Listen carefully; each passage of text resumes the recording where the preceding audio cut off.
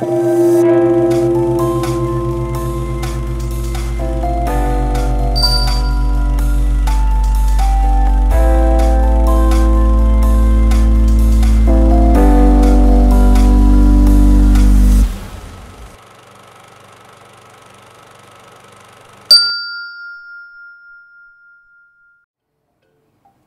seara, dragi telespectatori, și bine v-am regăsit la o nouă ediție Filmic by STV.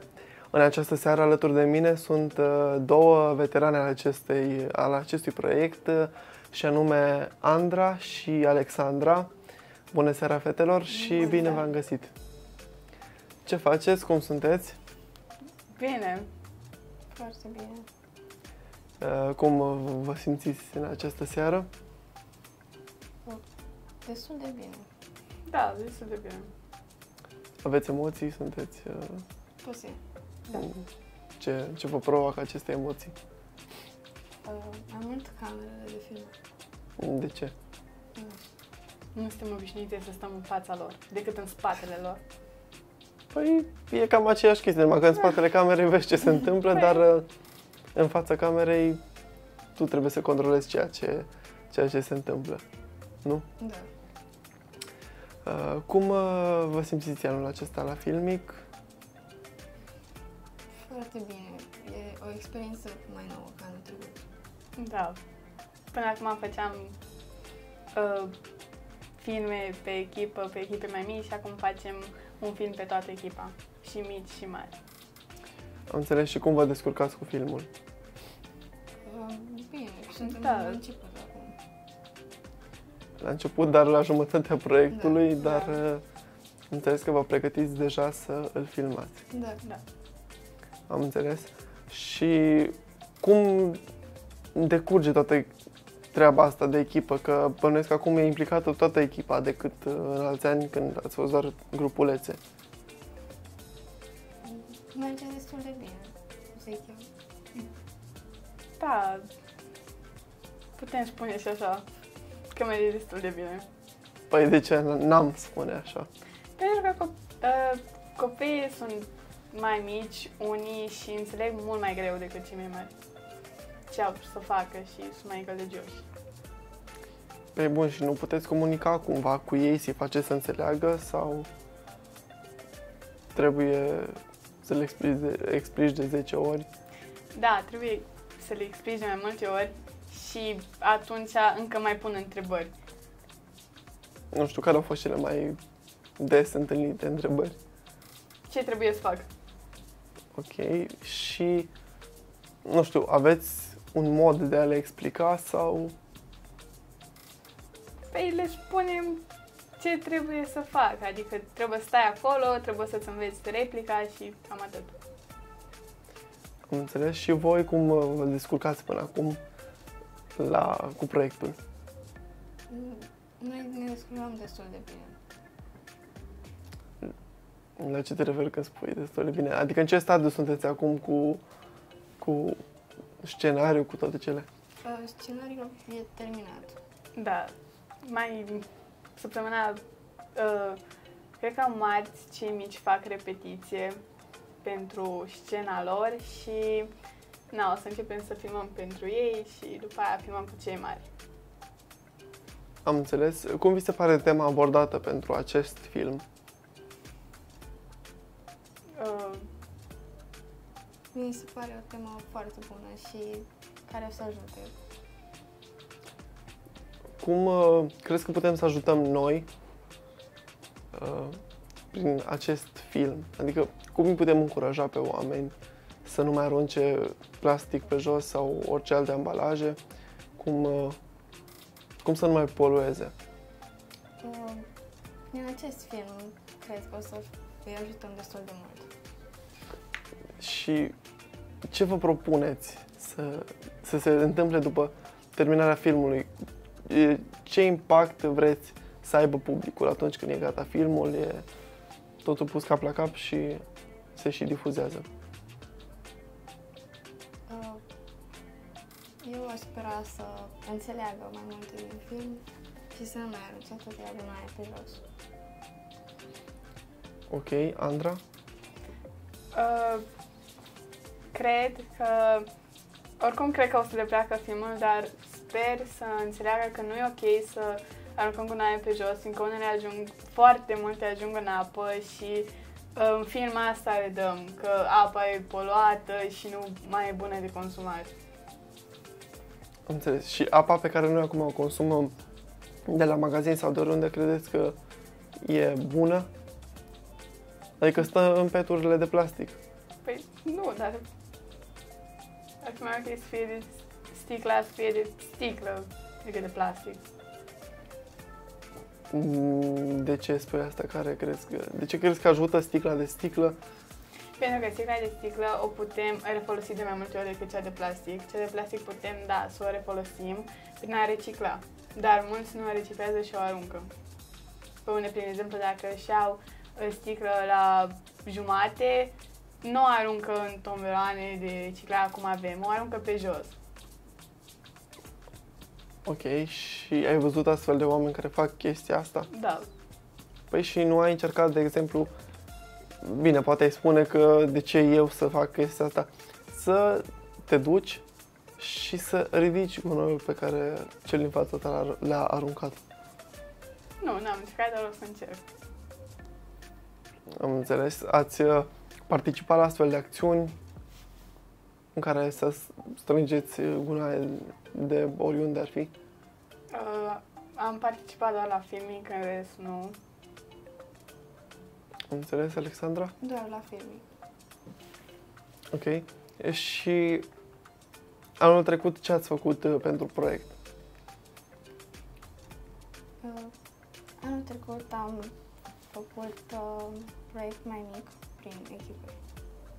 Și am făcut uh, ce a vrut echipa, am filmat locurile mai frumoase din Știi Nicolau și am mai dat.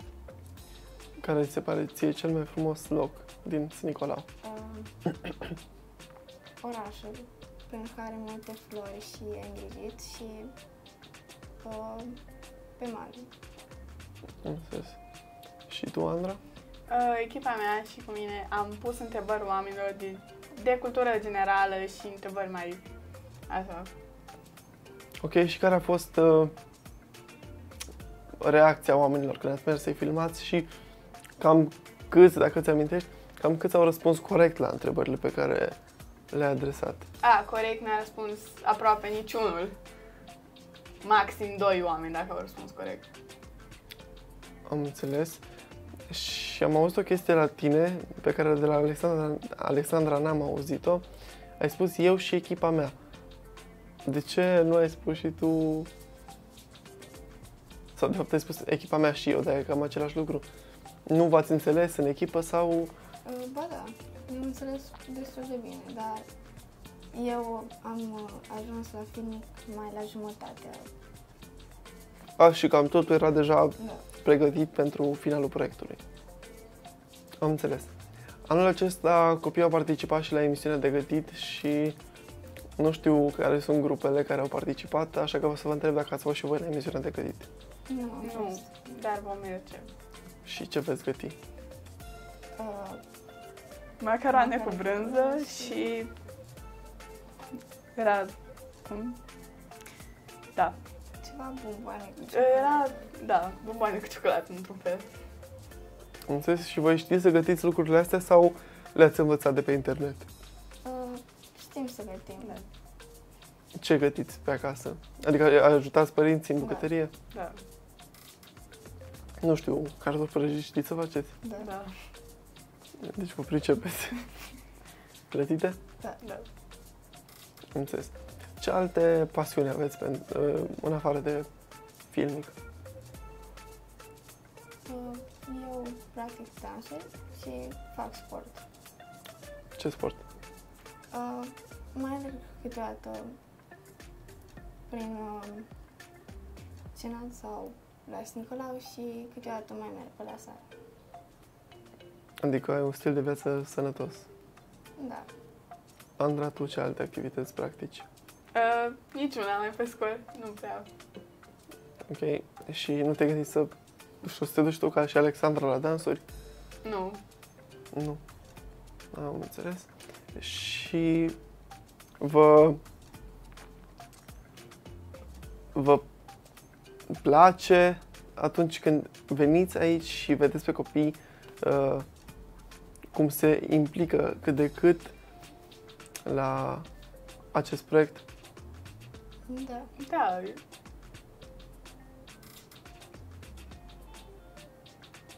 Sunteți emoționate?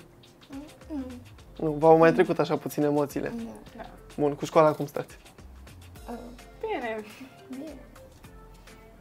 Bine, în ce sens? Uh, eu stau destul de bine.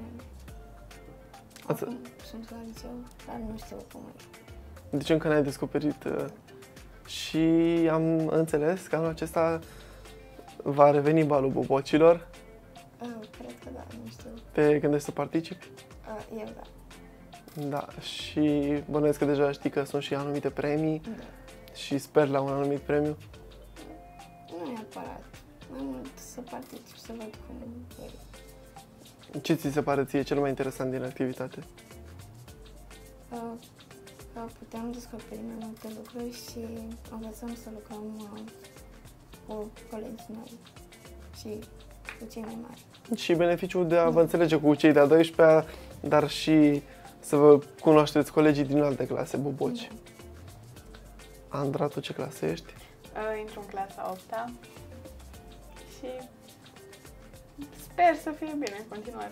Sper să fie bine, deci ai capacitatea, Da, ai puțin stres anul acesta. da. Da, nu, e destul de ușor, deci uh, nu trebuie să-ți faci griji. Am trecut prin asta și a fost uh, destul de ușor. Ce vă doriți să faceți mai departe, după ce terminați școala, liceul? Uh, eu încă nu știu. Uh, să mă duc la facultatea de pedagogie și apoi să-mi găsesc un loc de muncă în sensul ăla. Deci vrei să fii învățător, profesor? Da, mai mult învățătoare decât profesor. Îți plac copiii? Da. Dar nu toți, nu toți copiii. Păi bun, și ce te faci că ajungi într-o clasă cu 20 de copii răi și 6 buni? Buni, mă, cu minți. Mă obișnuiesc. Sau, da. Da, cel mai probabil nu mă obișnuiesc.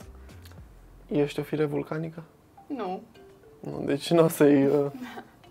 Bine, nici nu mai e voie să faci uh, chestia asta cu elevii. Uh, și de unde ți-a pornit ție? Ai avut așa o strălucire cum că ai vrea să fii învățător sau te-a pasio- pasionat când ai văzut pe învățătoarele tale? Uh, am știut de mică că vreau să devin învățătoare și uh, toți au spus că o să-mi schimb visul sau așa, dar încă nu mi l-am schimbat și sper să nu mi schimb. Și mi-a plăcut foarte mult, fiindcă îi vedeam pe profesori, pe învățători, cum, uh, nu știu, cum se înțelegea cu copiii, cum și am vrut și eu să fac asta și sper să o fac. Deci îți doresc uh, mult, mult succes în uh, ceea ce vrei să faci. Mulțumesc! Și Alexandra, tu te mai Da, gândești. Da. Deși ești mai aproape de terminarea liceului. Da, dar încă nu știu. La ce profil ai intrat? La biochimie. În biochimie. Înțeles. Um, uite, să vă întreb, am avut uh, câteva colegi de-a voastre, uh, noi, de fapt nu noi, că sunt, au fost și anul trecut, care au avut pasiune în moda. Voi sunteți pasionate de modă? Nu. Mm, puțin. Puțin, puțin ce? Uh, îmi place moda, dar nu sunt așa apasionată. Așa mult. Deci pasiunea ta rămâne dansul. Da. Și la muzică nu v-ați gândit niciuna? Nu. O carieră în online, influencer, ceva? Nu. Nu, e ok. E ok. Am înțeles. Și cum, Andra, cum crezi că o să te descurci cu copiii? Uh, cred că o să mă descurc destul de bine și sper să am mai multă răbdare pe când cresc. Că dacă, nu o să am, dacă o să am răbdarea ce am acum, nu, nu o să mă fac învățătoare. Și nu o să am răbdare cu ei, dar cred că o să am mult mai multă răbdare cu ei. Ok, și păi și ai putea să fii, devii profesoară. Da, uh, nu prea îmi plac mie elevii clasele 5-8. De ce? Da, sunt mai mari, sunt mai răutăcioși, nu... Da, dar poate cu timpul. Nu, e ok.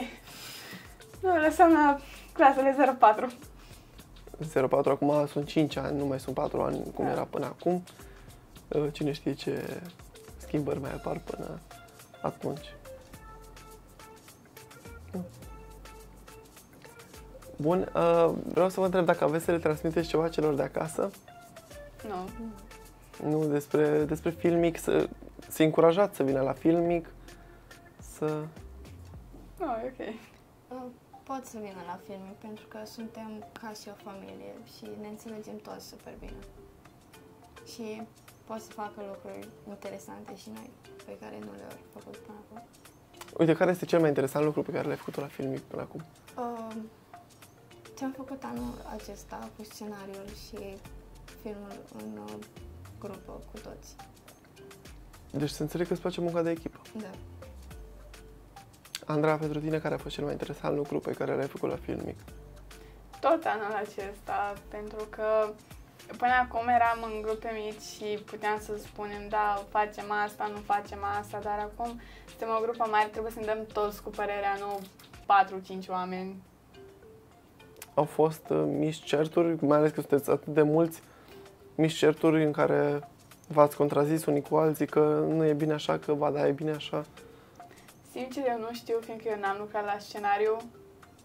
Uh, nu știu dacă a fost seturi când s-au făcut scenariul, dacă le place ideea sau nu. Știu că au avut o idee copiii mici uh, să fie să facă ceva teatru cu animale, nu știu cum, dar știu că s-a scos ideea. Nu știu dacă s-au certat sau nu. Am înțeles. Alexandra? Uh, Nici eu n-am lucrat la scenariul, dar nu cred că o registrație. Am înțeles. Uh, Fetelor, eu vă mulțumesc foarte mult că ați fost în această seară alături de mine și o să uh, vă mai invit încă o dată la această emisiune. Nu știu dacă în același format sau, uite, Andra, tu poți să vii cu sora ta Iza, care și ea va veni într-o ediție următoare la Filmic. Uh, și vă mai aștept, uh, după terminarea proiectului, să discutăm despre cum a ieșit filmul, cum uh, v-ați descurcat, descurcat voi la filmări și mai multe altele. Ce ziceți? Veniți? Da. Uh, Mă bucur să aud asta. Vă mulțumesc încă o dată că ați fost uh, alături de mine în această seară și vouă, doamnelor și domnilor, vreau să vă mulțumesc că ați fost alături de mine și în această seară și că ne-ați urmărit. Uh, Ne revedem săptămâna viitoare, miercuri, de la ora 20 și 10 minute. Toate cele bune, o seară bună, la revedere!